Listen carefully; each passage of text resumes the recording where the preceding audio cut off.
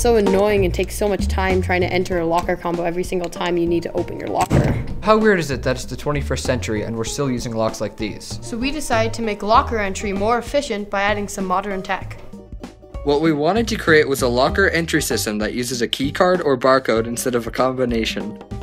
Here's how it would work. A scanner would read the code, send a signal to the small computer inside of the locker, which would trigger a motorized lock to open.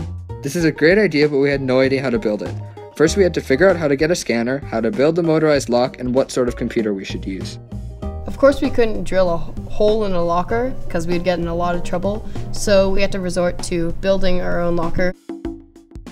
For the brain of the system, we decided to use a miniature computer called the Raspberry Pi because it's a small and easy to use computer that could easily fit inside the locker. Although this seems pretty straightforward, there was a lot of coding we needed to do. We needed to teach ourselves how to write in a programming language called Python. Basically, we had to write lines and lines of code to tell the Raspberry Pi what to do when the scanner reads the code. All the coding took about three days. For the lock, we used a small motor that would turn the lock when the computer tells it to. This involved a bit of trial and error as well. I worked hours and hours and hours trying to get the motor to spin perfectly through the lock. First string of code made the motor spin forever and I couldn't stop it. Um, also, the barcode wouldn't read and the Pi almost shut down. It was horrible.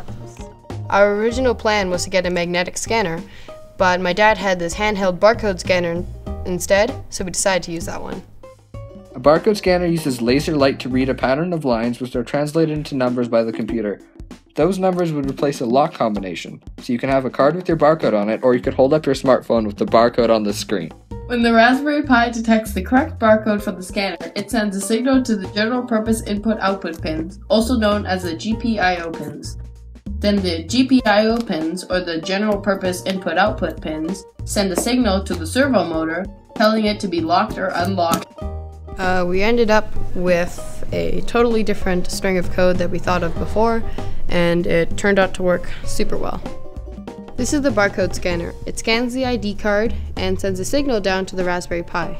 The Raspberry Pi then tells the GPIO pins to uh, tell the servo motor to unlock or lock the locker.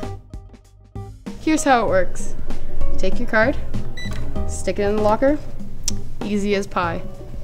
What we want in the future is that to put a screen on here so that teachers could wirelessly send like notifications to the locker. So when they scan it it could be like oh you have a test in social studies today or you have an overdue library book or something. In the future we can even program our locker to have multiple users. We can even program it to see how many people have access to your locker at what time and when. But right now we're really happy of how it turned out